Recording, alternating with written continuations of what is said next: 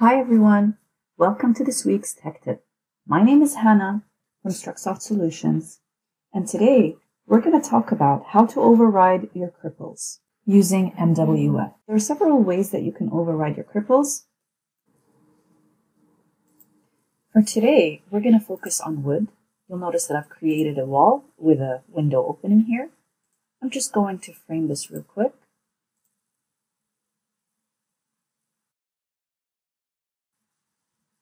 I'm going to use a default template. Just going to go to my project. I'm just going to use the wood uh, template for now. I'm going to set it as active, close it, and create.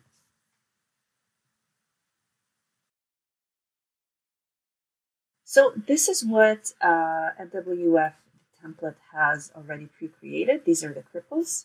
So let's say that I wanted to create some changes for these cripples. We're going to talk about several ways that we can do this today. Before we start making any changes here, I just want to point out something. So I'm going to use the uh, dimension command just to check the spacing here.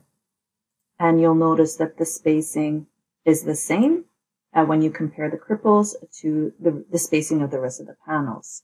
And what we want to do is we want to actually change the spacing for these cripples.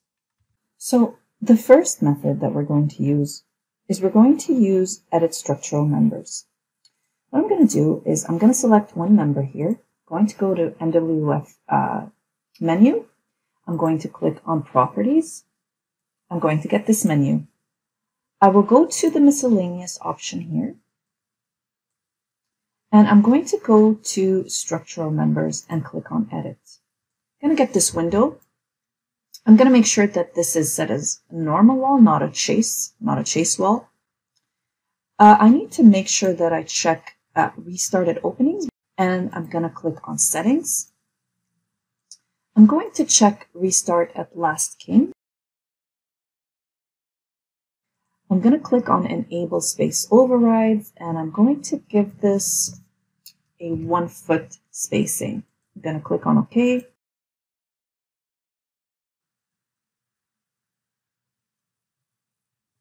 Let's check.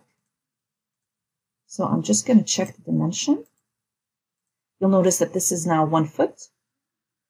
And this one here, it's still one foot four inches. And that was the first way to override your cripples. So the second method I'm going to use is edits tools. You'll find edit tools right here. And we're going to use edit Wand. But before we use these tools, we're going to actually have to make some manual changes here. I've quickly jumped into the section view here. You can also use an elevation view. I'm going to do two things.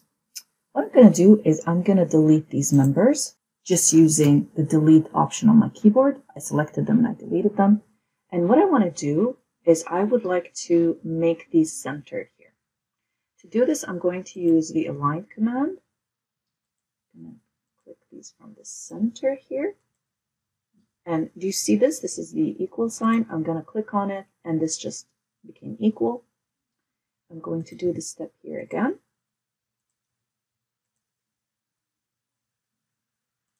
And there you go. So I've made these manual changes here.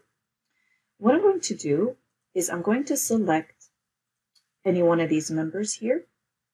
And now what I have to do is go to edits and I'm going to go to Edits Wand, and this will save the changes that I have made to the panel. So that when I regenerate this panel, you'll notice that the changes that I have made have been saved. Another option you can use, if you select these, like I'm doing, you can go to Edits and use Move generated number. I'm just going to enter 2 inches and click on OK. Another option to try. I'm going to select these members. I'm going to go to Edits. I'm going to delete these members and these members.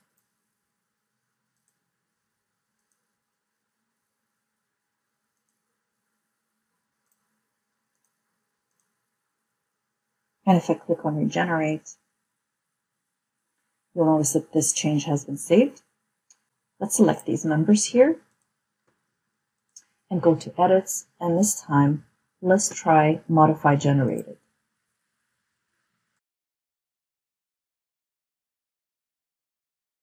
Let's make a six inch change to the running offset and click on OK. And then we will regenerate. You'll notice that the change has been applied to the cripple, but has not been applied to this member. And that's it for today's tech tip on how to manually override your cripples.